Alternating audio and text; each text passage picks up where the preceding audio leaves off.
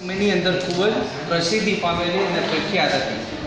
પરંતુ આ ગોપ નૃત્ય છે એ આજે સૌથી વધુ વધુ હાલાર વિસ્તારની અંદર જાઓ તમે, તો વધુને વધુ જોવા મળશે.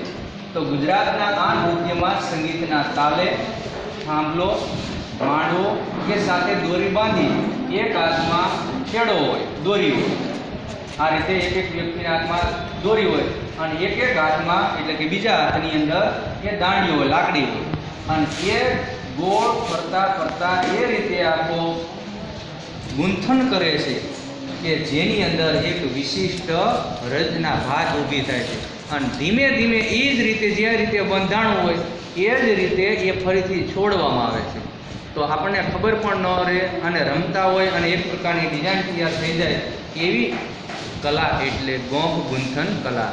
અને એમાં છે જ પણ ભૂલ થાય એટલે આખી આખી જે આ ગૂંથણ છે એ થોડુંક આપણે કહી શકીએ વણવું જોઈએ. એ વણાતું નથી. એટલે ખાસ આવડતવાળા વ્યક્તિઓ છે, તાલીમ આપવામાં આવે છે અને પછી આ ગૂંથણ છે કરવામાં આવે છે. ત્યાર પછી સીધી યોનું ધમાલ નૃત્ય.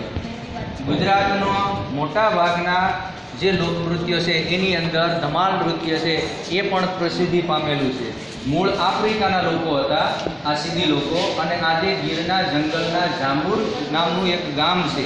એ ગામની અંદર ત્યાં સીધી જાતિના લોકો છે, વસવાટ કરે છે અને ત્યાં નૃત્ય કરે છે.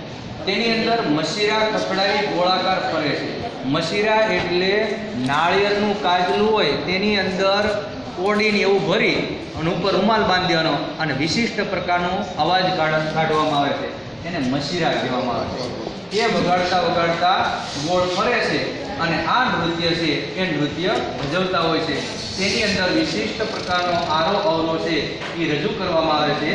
એ આરો અવરો રજૂ કરીએ છીએ. આપણે આ નૃત્યની એક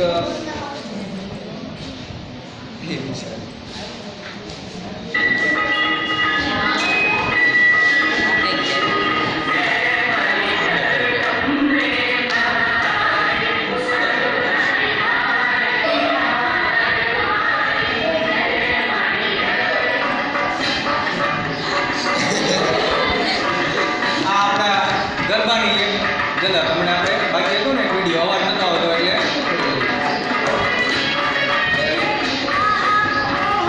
નૃત્ય.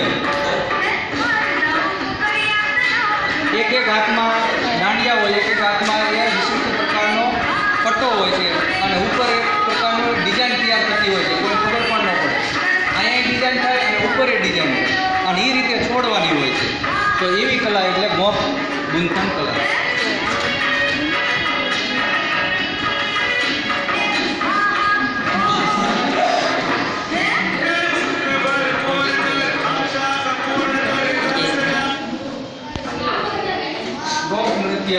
પછી આપણે બીજી ક્લાસ લઈએ. આપણે જે વિશિષ્ટ વાત કરતા હતા કે ભારતના સિદ્ધિઓનું નૃત્ય એ છે મોટા ભાગે ધમાલ નૃત્ય. અને આ નૃત્યની અંદર પશુ પક્ષીના એક વિશિષ્ટ પ્રકારનો અવાજ કાઢવામાં. હા, ઓ, અને જે તાલ, લય અને ઢળ સાથે એક ઢાળ પ્રકારે રજૂ કરવામાં આવે છે. અને આપણે સૌને આનંદ આપે એવા પશુ પક્ષીના અવાજ કાઢે છે. એવું નૃત્ય એટલે ધમાલ નૃત્ય. આપણે એની ઝલક જોઈશું પછી. ત્યાર પછી આવે મેરાયો બનાસકાંઠાના વાવ વિસ્તારની અંદર ઘાસના તોરણ બનાવી અને એ મેરાયો ગૂંથવામાં આવે છે.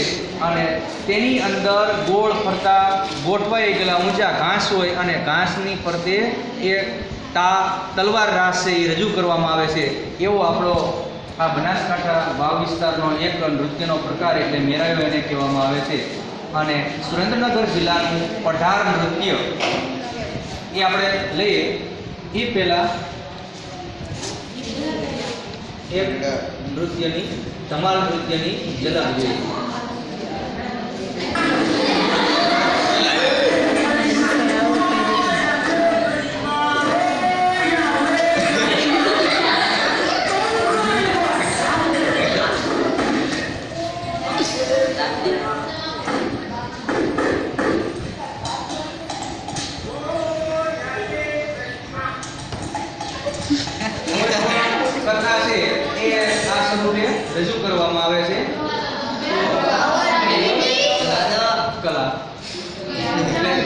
હવે સુરેન્દ્રનગર જિલ્લાના વિસ્તારોની અંદર જે આદિજાતિના લોકો વસવાટ કરે છે, એનું આગવું નૃત્ય એટલે એમ કહી શકાય પઢારનું નૃત્ય.